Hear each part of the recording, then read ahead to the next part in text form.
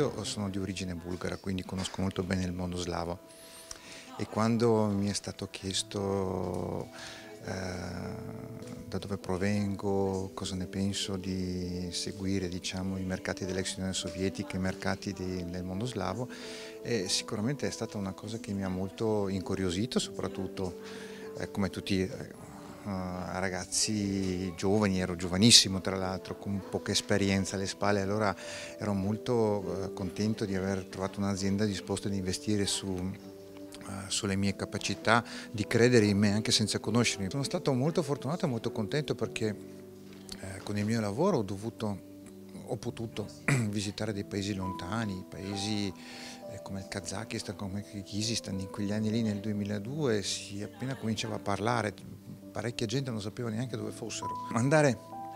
eh, in questi paesi era, era, una cosa super curiosa, ero molto emozionante, emozionato anche prima ah, della partenza. Non,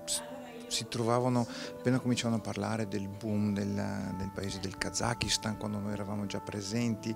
eravamo i primi, una delle prime aziende ad arrivare eh, sul posto, eh, come anche per esempio in, in Uzbekistan, in, anche in, in altri paesi. E, e, sono stato sempre molto, molto orgoglioso, molto contento di, di poter svolgere il, il mio lavoro.